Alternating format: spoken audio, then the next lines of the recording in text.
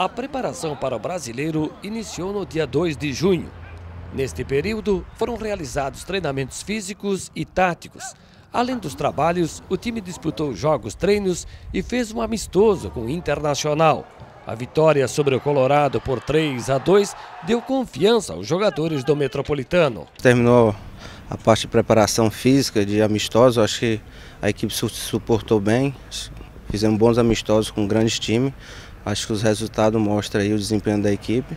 E agora chegou o momento que todos esperam, a hora da estreia. E com certeza jogando em casa, vamos tentar estrear com o pé direito. Preparada, né? Todo mundo já concentrado, focado é, no que tem que fazer, né? É, tivemos aí essa preparação aí para a competição e agora é a reta final, né? Semana decisiva, todo mundo concentrado, esperando esse jogo aí para poder começar com o pé direito a competição. Qual é a proposta dessa Série D?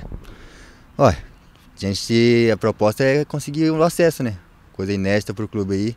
Já bateu na trave duas vezes aí, né? Agora a equipe está concentrada e tenho certeza que esse ano vamos conseguir esse acesso aí. A equipe do Metropolitano intensificou os treinamentos esta semana para o jogo de estreia, domingo, no SESI, diante do Boa Vista, pelo Campeonato Brasileiro da Série D. Experiência, tem um jovem bom de bola aí também no grupo.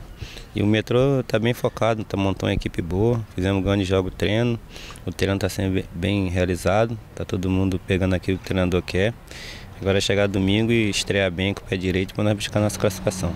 Dizem que treino é treino, amistoso tem um outro sentido, mas jogo é outra conversa. Ah, campeonato é outra conversa, quando assina ali para começar os três pontos é diferente, né? E nossa cabeça está bem focada para esse campeonato. Quem está aqui, todo mundo veio focado esse ano para ajudar o metrô para subir para a Série C. E se Deus quiser até o final nós vamos lutar para conseguir nossa vaga. Subir para a Série C é o desafio traçado pelo clube que reforçou o elenco com 12 contratações.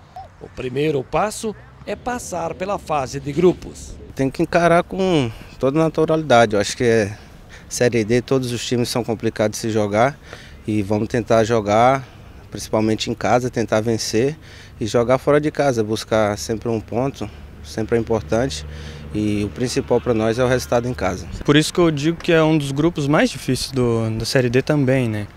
E, e pelos amistosos que fizemos, tivemos resultados positivos muito bons. Então, se baseando nisso, acredito que a nossa equipe está tá muito bem preparada. Carlos Alberto, qual vai ser a tua contribuição nesse time do Metropolitano? Ah, eu vou dar meu melhor sempre, junto com meus companheiros, toda a equipe que eu passei, nunca desisti. Para mim não tem bola perdida, vamos correr 100 minutos se for, vou dar meu melhor, para me ajudar a minha equipe a subir.